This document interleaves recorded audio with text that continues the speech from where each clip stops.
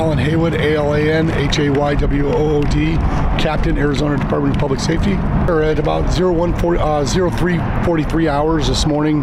Um, Interstate um, 10, milepost 129, which is in between Dysart and uh, Litchfield Road. We had um, a couple vehicle, uh, vehicle that was uh, reported racing, um, spun out. It was a S, a S10 pickup truck, black in color, spun out on the roadway, came to rest blocking the left lanes of traffic. At which point, a witness arrived on scene, uh, tried to attempt to help the driver um, push the vehicle off to the left.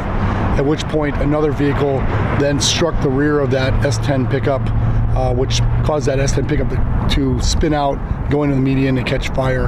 The driver of that S10 pickup was seriously injured in that in that collision, um, and uh, was transported to Abrazo Medical Center, uh, West Valley, with serious injuries. The uh, driver of the other vehicle, which was reported as a silver Volkswagen uh, Jetta, um, initially stayed on scene, but then fled the scene.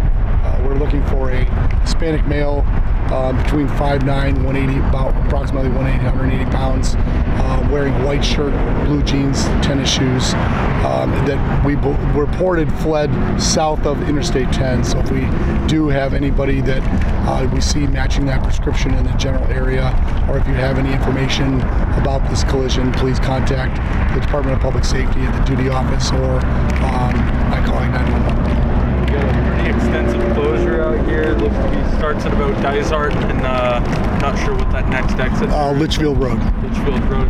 Uh, what's the estimated time for the investigation?